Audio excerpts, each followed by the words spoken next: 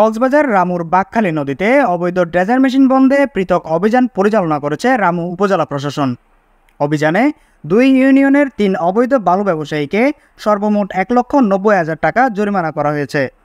বালু উত্তোলনে ব্যবহৃত পাইপসহ বিভিন্ন যন্ত্রাংশ ও দুইটি ড্রেজার মেশিন জব্দ করা হয়েছে।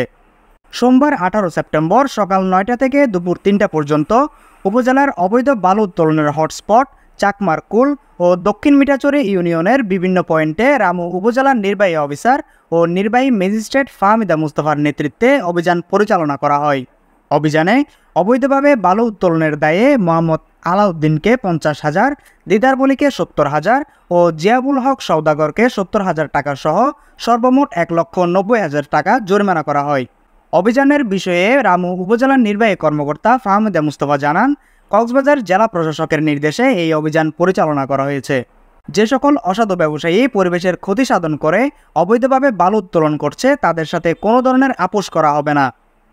অভিযানে সদর ফতেকারকুল ইউনিয়ন ভূমি কর্মকর্তা মোহাম্মদ শাহেদ, স্থানীয় মেম্বার, গণ্যমান্য ব্যক্তিবর্গ সহ আনসার ও ব্যাটালিয়ান আনসারের একটি টিম অংশ নেয়। শওকত ইসলামের প্রতিবেদনে, জয়ন্ত জয়, সিসিএন।